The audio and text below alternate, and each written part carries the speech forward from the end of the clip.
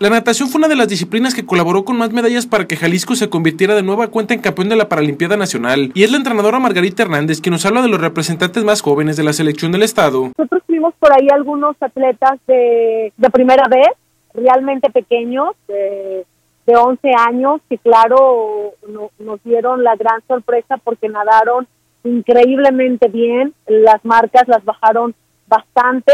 y pues bueno, eso habla de de las promesas de Jalisco y, este y claro pues es favorable no para la natación en la justa que se llevó a cabo en Acapulco Guerrero compitieron dos nadadoras jaliscienses que estarán en los próximos Juegos Paralímpicos de Río de Janeiro, Valeria López y María de Jesús Delgadillo, quienes tomaron como preparación la Paralimpiada y no alcanzaron sus marcas esperadas, ante lo cual la entrenadora mencionó. Las dos muy bien, este claro que no están sobre sus mejores marcas porque las dos niñas iban con entrenamiento, incluso Valeria estuvo nadando allá antes de competir, estuvo cumpliendo con, con sus entrenamientos y claro que, que eso genera un cansancio y, como los atletas no llegan totalmente puestos a punto, eh, este, pues claro que el resultado tal vez no es el, el mejor o la mejor marca, ¿no? Pero el resultado fue muy bueno porque a pesar de traer carga Valeria, eh, compitió muy bien en todas sus pruebas, ¿no? La entrenadora quedó satisfecha con el resultado de los nadadores tras conseguir más de 30 medallas de oro.